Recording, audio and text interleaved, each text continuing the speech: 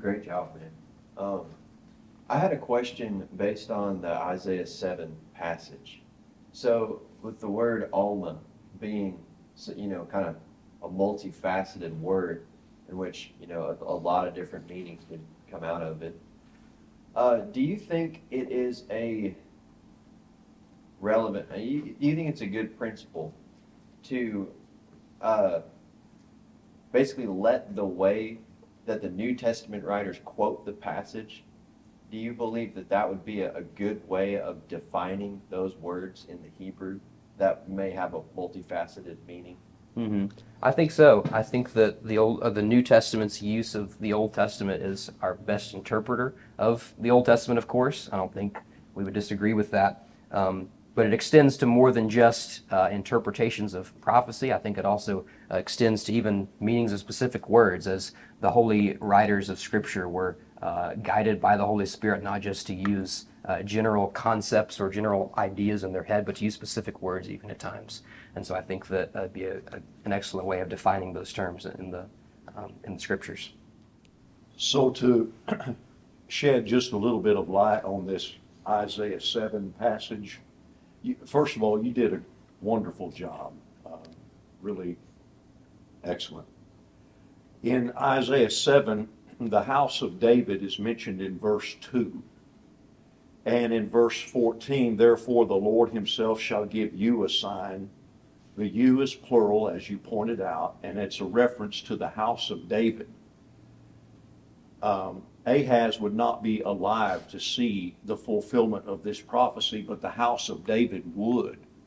And so this is uh, not only a prophecy of the virgin birth, but a, uh, an extended prophecy that the house of David would survive to see the virgin birth, though Ahaz would be dead.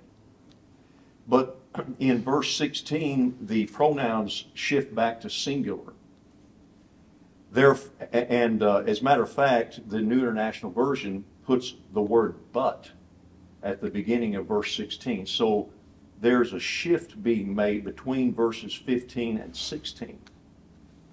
And there's two prophecies that are being given here.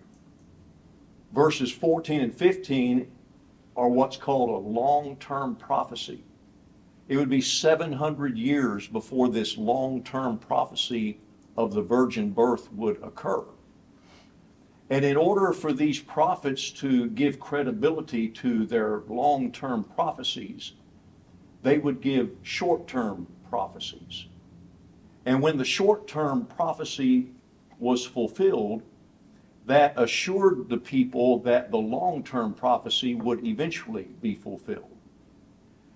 The short term prophecy is given in verse 16. Before the child shall know to refuse evil and choose the good. The land that you, singular, King Ahaz, the land that you dread will be forsaken by both their kings. This child in verse 16 is a different child than the virgin born son of verse 14. The child in verse 16 is Isaiah's son, Shear Jashub, mentioned in verse 3. Isaiah was told to take his son Shear Jashub with him and go see King Ahaz. So he takes his little baby son Shear Jashub with him. And he gives this long term prophecy of a virgin having uh, a child. And then his short term prophecy is before this child that I'm holding right here. Matter of fact, he uses a near demonstrative pronoun, this. And he's not saying before that ch- child way off in the distance is born, the land shall be forsaken of the kings you dread. But before this child that I'm holding in my arms, before it is old enough to distinguish between good and evil, the countries that you dread will be forsaken of both her uh, both their kings. And so that happened. Within two years, both of the kings threatening him, Pekah and Rezin, were gone. They were no longer a threat. That short term prophecy came true, and now the house of David could rest assured that one day the long term prophecy of the virgin born son would eventually come true. That's helpful. I appreciate it. Thanks, Kaleb. That was really good. Um, kind of regarding Ben's question, clearly Matthew is using Isaiah 7:14 to say this was fulfilled in Christ.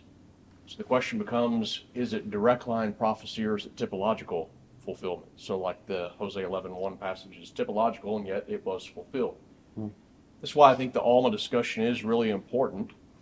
And th- I was just going to share this for what it's worth. There's a book called The Mother of the Infant King, of which Peter J. Gentry is one of the authors. And that's a quite technical book dealing with Hebrew, but it's making a definitive case that Alma is virgin. It was understood that way, and you don't have to rely on the Septuagint to make that point. And I point that out just to say this further. If you like Kindle books, you can buy it on Kindle today for three dollars. Now, it's usually a fifty dollar book, and you may not want to spend fifty bucks because it's pretty dense. But at three bucks, pretty good investment. What's the name of it? The Mother of the Infant King by Peter J. Gentry and Christopher Christophe Rico. Thank you, Kaleb. It's very good. Uh, I just want to make a comment on a question that was asked or a point that was brought up earlier about Matthew's usage of the word virgin as compared to the word used in Isaiah's account. I've got a little paragraph I just want to read. I'm going to use it in my talk this afternoon as well. But I want to go ahead and read it and introduce it because I think it's a great quote. And I think it helps us to understand the importance of the New Testament's interpretation of Old Testament thoughts.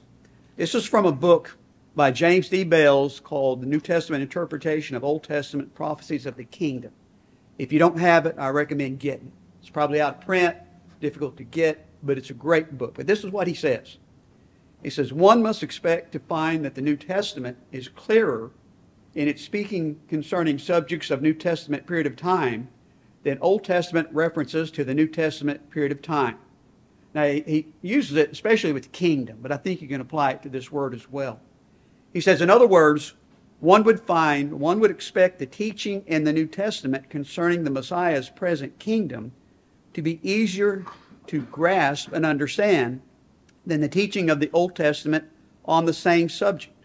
One therefore would always accept the New Testament presentation of the application of prophecies instead of what he thinks ought to be the interpretation of prophecies. Now, if he's right, and I think he is, then what Matthew says about that word virgin is the one that we go with. That that word means virgin, not just a young girl, but it means virgin. Regardless of the other nuances of that word, Matthew's usage of it explains the way that it's to be understood. Thanks, Kaleb. That was awesome. Really enjoyed that presentation. Um, when uh, back when I went to Egypt in 2019, uh, I thought that the virgin birth would be a point uh, on which I would kind of clash with the Muslims that we encountered. But it's interesting that Muslims generally ag- agree, and and the Quran actually teaches the virgin birth. The Quran teaches that no man touched Mary, but the Spirit of God breathed on her, and that's how Jesus was conceived. And so I thought that was really interesting. And I was just wondering if you have any thoughts on uh, engaging with Muslims about the virgin birth uh, and using it in apologetics with Muslims. It's interesting you, you say that. Um, I spoke with a, a classmate. It was, I think, two or three years ago now. Um, I think two years ago. Spoke with a classmate who was a Muslim, and um, we, we were discussing back and forth about a, a different, a few different things, um, mostly concerning the nature of Christ and his uh, deity. But uh, the first thing we started with, of course, is resurrection, and sort of went backwards from there. Um, uh, and we talked about the virgin birth as well. And there was another, like you said, sort of a point of surprise where at the time I had, didn't had no have any idea as to what uh, he might say about it. But it, I did was surprised to find that we had some common ground to stand on. I don't have any really um, advice, any any advice to give on, on the issue, um, other than it's a it's a good point to start with, maybe. As I said, that was a great job, Kaleb. Uh, I was doing something else here. I didn't hear you mention, I was out for the first few minutes of your talk, so maybe you mentioned it, so maybe George did a minute ago. But I think it's important in the Isaiah seven passage that he begins this, he's having this discussion with Ahaz. And he asked Ahaz to ask for a sign, and Ahaz said, no, I'm not gonna ask for a sign. But then Isaiah says in verse 13, Then he said, Hear now, O house of David. He is no longer talking to Ahaz. He is talking to the nation when he says, O house of David. And that helps to uh, remove this notion of the fulfillment of this prophecy being in chapter 8 uh, with the birth of, I can't say his name right now, but that, that big long name. Maher Shalal Hashbaz. Thank you.